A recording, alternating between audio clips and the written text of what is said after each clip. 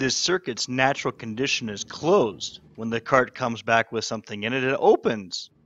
What happens when the cart comes back empty? How does it open?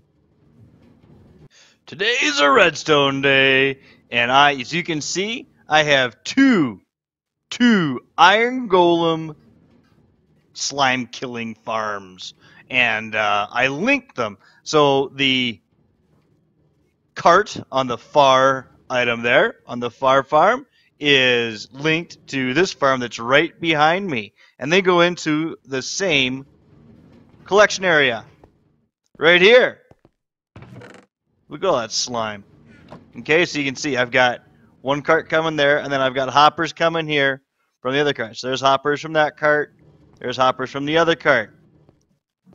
I have a two-way switch back here.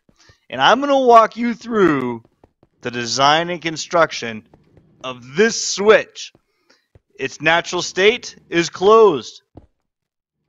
Watch this. Okay, it's closed. The cart comes through, it hits, it only goes through when it has slime in it. See, there it goes. Only goes through when it has slime. That's easy. I've got I've got a uh, detection rail in there, detector rail, and it says, "Oh, you've got something inside you." I'm going to open up. But how does it open when the cart's coming back empty? You're going to learn that with me in today's Let's Do Redstone Together. Okay, so here we go. Basic setup. So this is very similar to the XP farm uh, that we have. However, the difference is this gate is closed by default as opposed to open. Okay, and the reason for that is when the cart's running around. Okay, I'll just put an empty cart on here. I don't want to miss all the slime that may collect on top. So the cart's going to come in, boom, and it goes back out. Okay? Very simple. Nice and easy. The cart just does its its routine, its tour, as long as there is product to be picked up up top. Once it has some product, we're going to pop... Oh, well, that didn't work out well, did it? Oops. it would help if I hit the right button and did not... Watch, it's going to hit and it's going to go again. nice. I love it. Okay, there. So now I got material. Okay, we put that uh, redstone lamp in there. It comes through. Pink. Goes through. And then it continues on to its dropping point. And when it comes back, it hits the block and it has no chance to pick up more material. So, how do we take care of this? All right. I like what we have here. How do we get this to open up? So, I, went, I did a little bit of pre-wiring.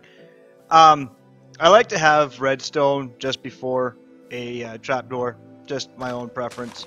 But we're going to come in here, okay? And you see I've got a little line set up there.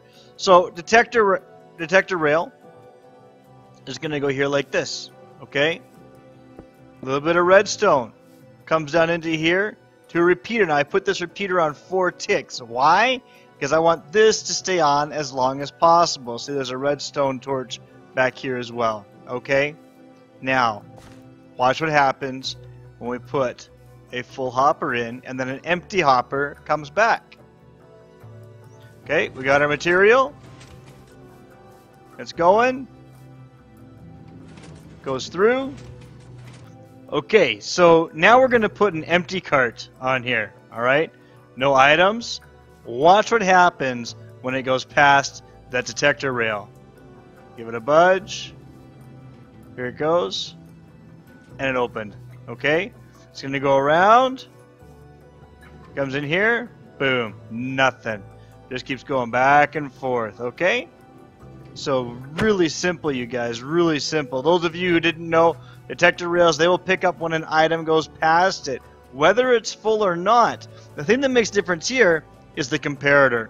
Is there something in that in that cart to set off the comparator and put a signal through? Now, what do we have for timing? So when it goes in, we got fast, fast timing to this torch so that this block gets pulled out right away. Okay?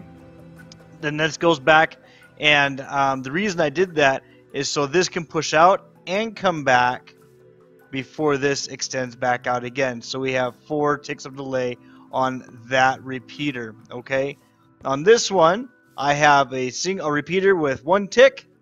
All right, hits this, goes into there. I, I didn't want to make a long delay or anything on this one. Um, the number of redstone dust that I have coming here gives it just enough delay that it comes out just after that pulls back. I'll show you when I'm testing these things. I get rid of the comparator. I pop this and watch this. Okay, so you can see power turned off. That came back right away, instant. Is what one, two, three, three points, and then that one has I think eight ticks or eight eight uh, drops. Okay, I break this. That pulls back and that comes out. And the reason, see that's delayed. The reason it comes off slower is because there's four ticks of delay on there. Okay, so I hope that gives you guys a little bit of insight to the uh, design and construction of that part of this system. Okay, very simple. Now again, coming down here, this this uh, detector rail picks up the the sense that yes, something's passing over me, and it sends an electrical light out down to here. Okay. All right. So there you go. That's how you make a two-way switch for a cart that's going from its uh, area of collection to its drop-off point and then back to its area of collection. I hope you guys liked this. If you did, hit that like button. And if you wanted some more, if you want to see more, hit subscribe. Subscribe, subscribe, subscribe. This is CSM Master signing out.